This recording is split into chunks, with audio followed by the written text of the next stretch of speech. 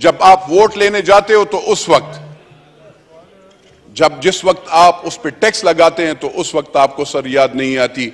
मेरी अर्ज़ यह है सर कि गरीब के लिए खाली नारा मत लगाओ, गरीब के लिए सोचो भी। बिजली महँगी करना, ये ज़्यादा होगी। आप लगाएँ क्या? इंडस्ट्रियल पे ज़्यादा लगाएँ ना सर?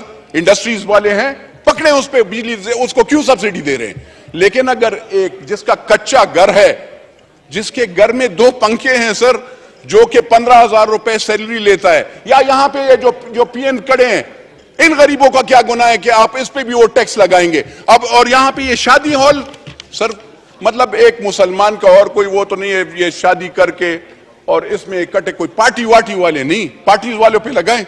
लेकिन मुझे बताएँ सर कि शादी, या उसमें भी आप, जो सुन्नत रसूल का वो है, अगर लोग इकट्ठे होते हैं और उसमें हमारा एक एक एक शरई वो है, लोग अगर आते हैं और उसमें सब इकट्ठे होकर उसको खाना खिलेंगे और उस पर आप टैक्स लगाएँगे।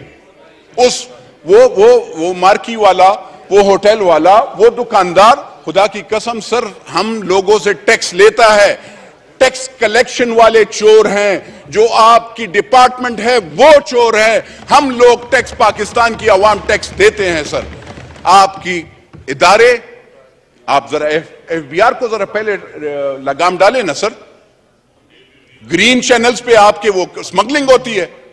आपके यहाँ पे आप, ये वज़ीर खजाना साहब से मैं जरा पूछना चाहता हूँ कि आपने कौन से कानून के तहत डॉलर माफिया के साथ नेगोशिएशंस की?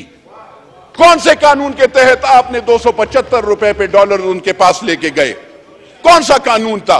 मुझे बताएँ, और कौन है इस मुल्क का मालिक जो कि अफ़गानिस्तान को डॉलर सीमेंट के बोझे और यूरिया की बोझियों बोरियों में ले जाता है। मैं तो नहीं हूँ, सर, ना आप हैं। तो वो कौन मालिक है?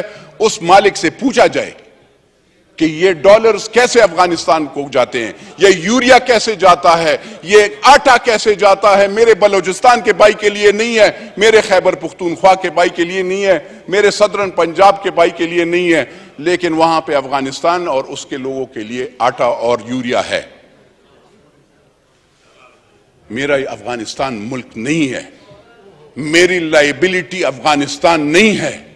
बिरादरम मुल्क है, लेकिन मेरा मुल्क ये पाकिस्तान है। मेरा मरना जीना इस मुल्क के साथ है और इस लोगों के, गरीब लोगों के साथ है।